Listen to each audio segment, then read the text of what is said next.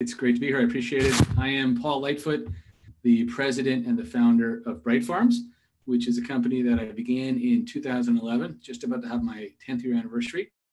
Uh, we're growing and, and distributing local produce on a commercial scale and doing it with what we think are some of the nation's best retailers, trying to create the nation's first brand for national produce uh, of local of, for national distribution of local produce.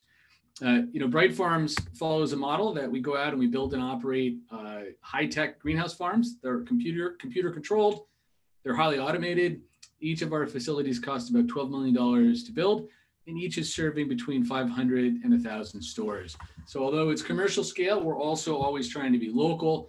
Generally, we're growing food in the same community uh, where it's consumed, and, and, and our workforce will be members of the community where our produce is distributed. Uh, I'm going to show a really brief video so that our, our audience can see and hear what our facilities look like and what our people look and sound like. We are at Bright Farms. Bright Farms! So the most beautiful thing about Bright Farms is that we grow it, we harvest it, we pack it the same day, and basically send it out that night. It's going to be in stores most of the time within 24 hours of harvest. So it's really going to be the freshest thing that you can get. And once you take it home, it's going to last the longest in your fridge.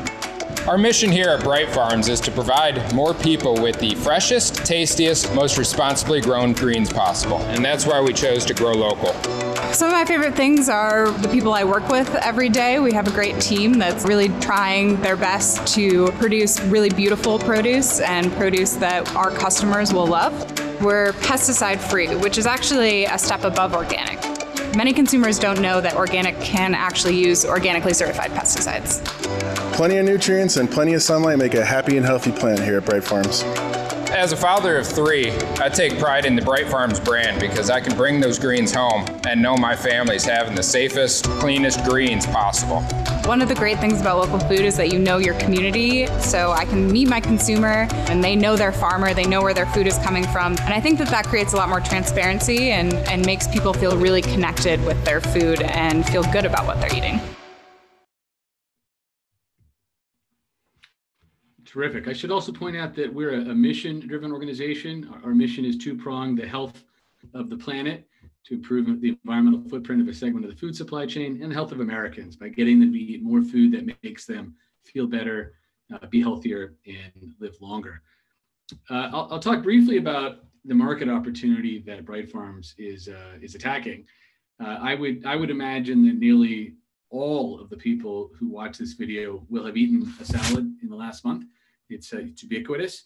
Uh, salad, the salad business is a big business, and it's super important to our food retailer partners. Generally speaking, it's the number one category um, for sales in, in produce departments of supermarkets, but it's also the number one category for profits. Great food retailers can't win without great salad programs. And we've got what we think is a program that works great uh, for retailers here's some of the benefits. We were on that slide. Some of the benefits that retailers think about are that the product is simply better. You know, we're generally replacing long distance produce from either California or, uh, no offense to you Arizonans uh, or Arizona, and we're replacing it with produce that's grown. You know, generally when you think about the uh, the transportation, the processing facilities, and the middlemen, about a week fresher, which makes it uh, longer shelf life, makes it look better, smell better, taste better and just frankly be better. We also lift category sales. I'll talk about that specifically in a moment. We ship consistently on a year round basis, and our product is safer. When the long distance field grown salads uh, have recalls or other problems due to their quality or safety, we keep showing up on time and meeting the needs of our, of our retailers and consumers. So here's a bit about what I meant about category lift. This is real data from a pilot we did with one of the largest retailers in the country. It was a nine month pilot. After we entered the category with Bright Farms products, dollar sales rose almost 36% within a matter of weeks. And then they stayed at this higher level permanently. So the retailer is getting more sales from the same shelf space. Uh, they would have been happy with the 5 or 10% uh, category lift. Uh, the 36% was really a home run. And, uh, and, and really all of our major retailers are planning expansion, expansions with us, which includes partners like Walmart, um, Kroger, and Ahold Delhaize. uh, I'll, I'll, sort of wrap this up and, and get to the questions that you shared with me to talk about our growth. We have been growing powerfully and steadily for years. We're now growing exponentially. Um, you can see and hear the number of stores that, that, that we're in right now. At the beginning of last year, it was less than 900. And, uh, and right now we're, you know, we're, we're cranking past 2000 and, and frankly, we're on our way, certainly in 21 to eclipse 3000. Um, you know, uh, the, the, the pandemic that the country has, has been managing this year uh, has been tragic in a lot of ways, but it's increased demand at retailer, retail, which is where we're focused. And it's increased demand for wholesome, fresh, healthy food with a decentralized and resilient supply chain, which is Bright Farms. So our, our business has definitely uh, been stronger uh, during this period. Uh, I'll conclude it by saying that you know Bright Farms is in what we think is a, a large, super exciting and dynamic market opportunity. We're in a leadership position. You know the category is growing fast. We're the number one player in it. We, we think we have the best investors in the world behind us. We actually announced uh, uh, yesterday that we'd raised another $100 million this year in, in financing, with most of that coming from Cox Enterprise, which is now our majority um, owner. And, um, and we've now raised in total about $200 million, which is all going to be used to, fan, to fund uh, our continued expansion. And we feel like we've got real structural advantage in the world in terms of our product being fresher, in terms of our, our environmental footprint benefits to the, to the planet and profitability advantages as well. You guys, shall I ask those questions now uh, directly from my notes or do you want to pose them? Yeah, I can just go ahead and answer or ask you the question. Yeah. Um, so what inspired you to go into your field? Yeah, so for me it was it was quite easy you know i had a background in, in running a company that improved the supply chains of retailers and I'd really done that through my 30s. I started this company when I was 40, and uh, and during that period, I'd, I'd, increasingly grown zealous about the way I fed myself and my family. Early to organic food, early to local food, early to a mostly plant-based diet, and I, and I really wanted to have a way to combine my professional background with my personal passion.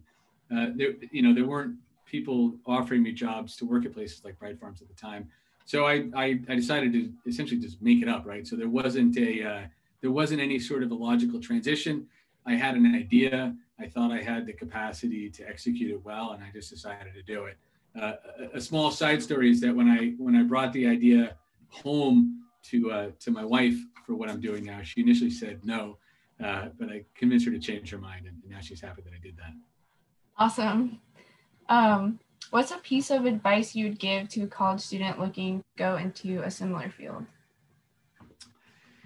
Well, I'd say in any field, my first advice is like, you know, find something fun, right? If you're going to work on stuff that you find interesting, you'll find your work interesting and vice versa. So, you, know, you may as well choose something that's interesting. So much of your, of your weekly hours be spent working. You may as well do it at something that's fun. And beyond that, I would say pick people that you have confidence will mentor you, um, that they'll teach you things, and your rate of acceleration and improvement will dramatically better than otherwise. And then pick people that you want to be with, right? You spend a lot of time with people. And if, again, if they're fun and interesting and, and challenge you and, and have authenticity and meaning, you'll find that your life has more authenticity and meaning. And I think if you get if you get all those things, no matter what field you're in, everything else will turn out pretty good. Yeah, that's great. Um, what would you look for in a job candidate? So as people get into more senior roles, the skills and experience become super important.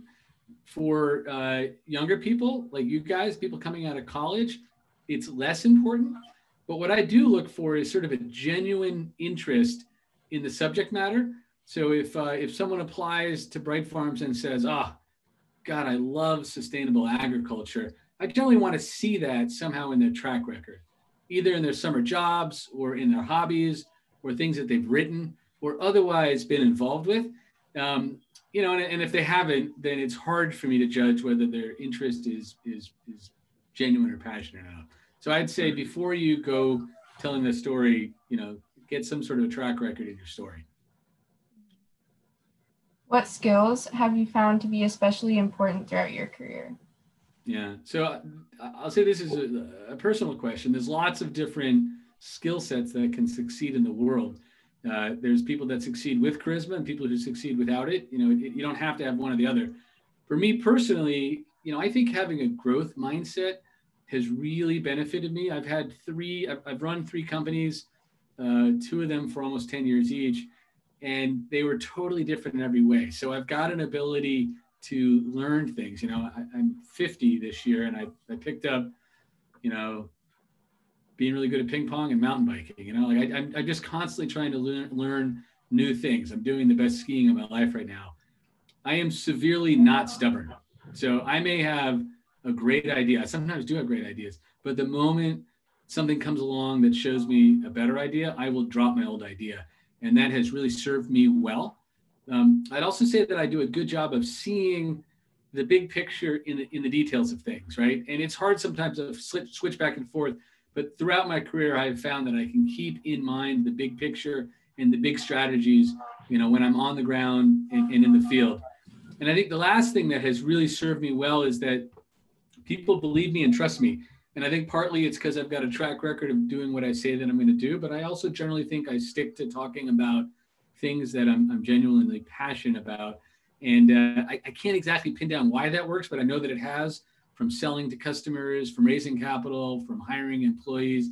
Uh, if you get people to trust you, uh, everything else is a whole lot easier, and vice versa. Yeah. And lastly, what is the most rewarding aspect of your profession? Of my profession. So, you know, for me, I mentioned I care a lot about food and healthy and sustainable food. Now, I think everybody in the world cares about food. It's part of the fabric of all of our lives. But since I care about it a lot and I care about getting people to eat healthy and to eat food that's more sustainable, to do that, you know, all day, all week is is it, it's just terrific for me. I, I really like that. And I think the other is is I'm surrounded by people that I really love working with. I mean, that, that I love, period, actually. You know, I, I've the senior management team at this company, you know, I personally picked over the years, talked them into leaving promising careers to join our, our journey and the exciting path that we're on. And I've got a, you know, a genuine amount of, of, of affection for them and obviously a lot of respect. We have suffered together, we've celebrated together.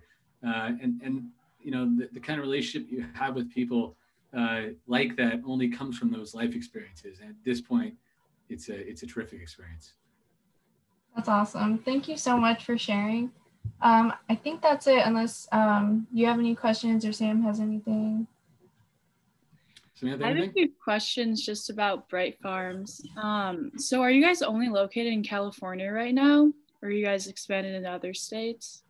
We're not located at all in California, Sam. We are in oh. yeah, Illinois. California. No, we're, we're putting California out of business. We're in Illinois, Virginia, Ohio, and Pennsylvania, and we're constructing and will soon open in North Carolina. We will get to California, I think, at some point. That is, however, where the in, incumbent industry is based, right? So we wanted to start uh, a bit far away from them because it gave us a bit of a competitive edge. Awesome. And then, do you guys only do leafy greens right now? We do only do leafy greens right now. That's not to say we will always only do leafy greens. There's some pretty exciting other categories that we think, you know, when we think about where to go next, we think about it in the lens of like, can we make money? Um, and then is growing in a controlled environment on a local basis some sort of a competitive advantage?